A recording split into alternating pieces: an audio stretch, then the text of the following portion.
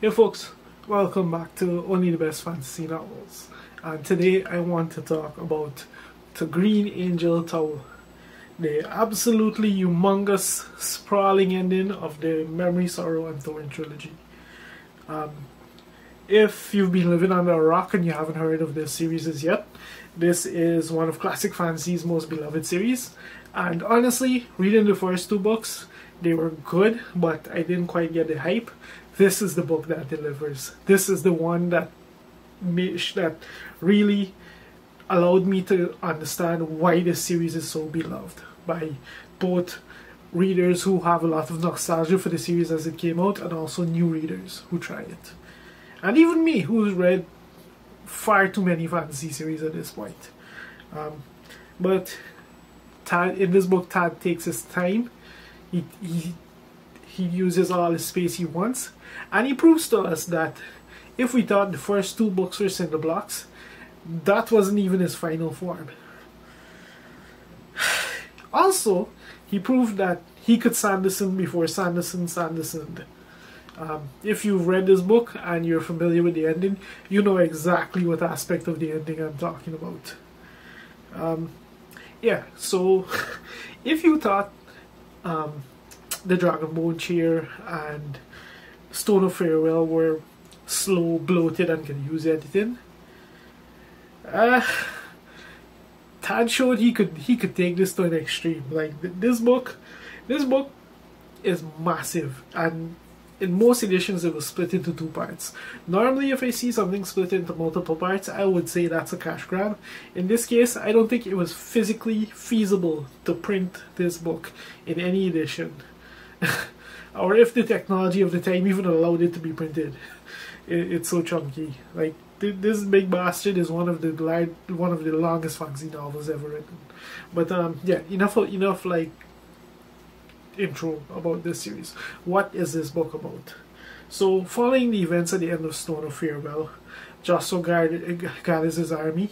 Elias marches on him, and things are about to come to a head. Um, Ineluki's grasp tightens on the land, and we start to see manifestation. Like we we already saw manifestations of it, but this is the book in in which it really ratchets up. Um, like nature starts to go out of whack, that kind of thing. And then, of course, there's the quest for the three swords. And um, what exactly these three swords are supposed to do when they come together, we don't know.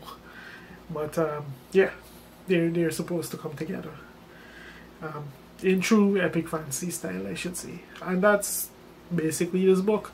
It's the final confrontation. It's the final confrontation of both the major and minor act villains, I guess you can say. Um,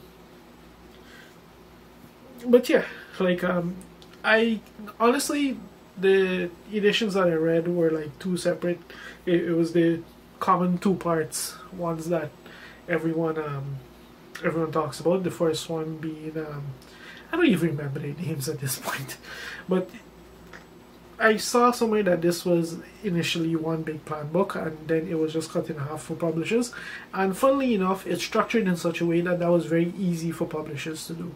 Because the first half of the book, which is the first part one, I guess you can say, it um it it, wraps up the story of Elias versus Joshua, their um, their particular clash, and that was a pretty that was, that was satisfying. I think um, as far as classic fantasy goes, that that was probably one of the most fun battle scenes I've, I've ever like read. Um, it, it was great stuff. I kind of like how Elias's story played out. Um, like that was they took an interesting direction. Direction. They also took a kind of a nod from um, they took a bit of a nod from Lord of Rings there to me in the way that his story ended. Um, or maybe I'm just reading too much into that particular scenario. Anyway, and then in part two, we have the final confrontation against with everyone against Pryrates when the three swords have to come together and um, and we have to deal with the emergence of Ineluki and like these aren't spoilers at this point. This this is very much a classic fantasy. Going into this, given this is you're watching the video of a third book of a series, I think you understand at this point. And this is the typical trajectory of this um, of these books. But um, but this is the point where things get interesting because Tad pulls off a pretty decent subversion. When I think back on the classic fantasy that I, that I read around this time, like they're very binary in that you can always tell the bad guys, you can always tell the good guys. The, the bad guys are always bad, the good guys are always very good. Um, there, there, every now and then there may be a little bit of moral ambiguity between them, but not drastically so. Um, but this book, like this book, one thing I loved about it is that the motivations of the bad guys, they're handled very creatively for for for the time period in which this book was written. Like um, like you can actually you understand why they do what they do. Like they're not just evil for the sake of evil because mwahaha. Um, they, they like they, you you you empathize with them you understand where they're coming from. You can think on what uh, on the challenges they face because that takes his time and just you get everything. So you can you can kind of mull over the situation yourself and kind of think of the choices that face these people and what they do as a result. Um, so that like I, I I love that aspect of how this wrapped up. Um, another favorite aspect of this book is just the horror element. Like uh, one thing I'm like really surprised of with this series is like just how much horror there is in it. Like when you think on something like the Lord of the Rings and like the classic fantasy that this ser- this series is very much a contemporary of, or or a um, or a successor of, you can see like they often contain very dark they, they often contain dark elements as part of like the evil forces but horror itself isn't necessarily always part of the story.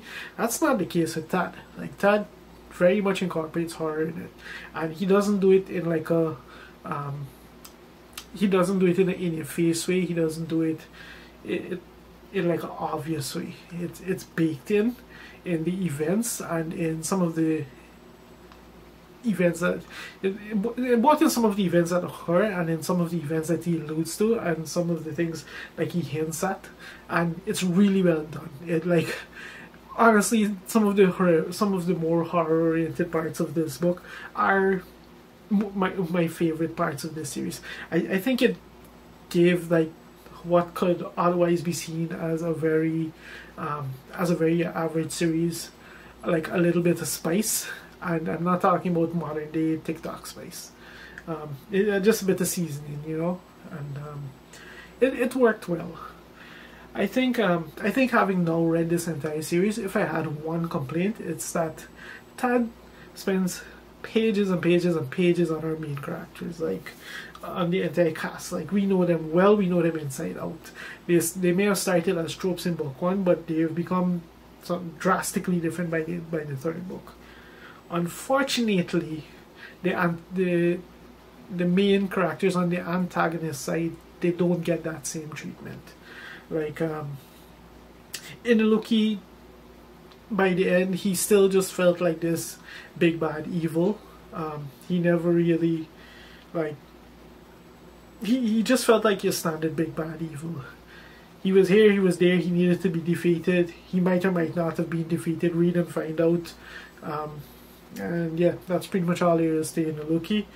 Um, and then there's Pryrates, who is pretty much Saruman 1.1. I can't even call him Saruman 2.0.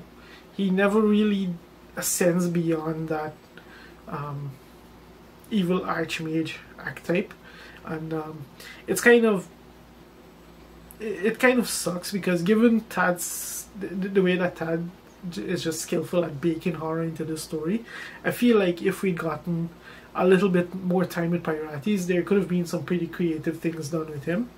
But um, it is what it is. Like this is the story we've gotten, and it's just unfortunate for him. Um, like even in Norn Queen, we we got a little bit of time with her, but not um, not too much. So she isn't fleshed out as well as a result, and it's by the end of this series, you like you kind of feel like an imbalance because of it. Um, but then again, this is classic fantasy. Like we don't exactly see too much of the bad guys unless like there's they're in conflict with the main characters. And given the way that these books are written, there is not that much direct confrontation when you think about it.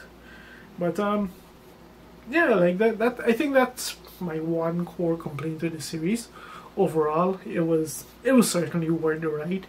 Um, I can see, like I said, I can see why it's so beloved, and I'm actually amazed that like something like this came out. It, this would have come out in like the early '90s, right around the time when like Game of Thrones and um, and a Song of Game of Thrones and Wheel of Time and so would have just been starting up, and um, I can see why why it's why it's so beloved, pretty much.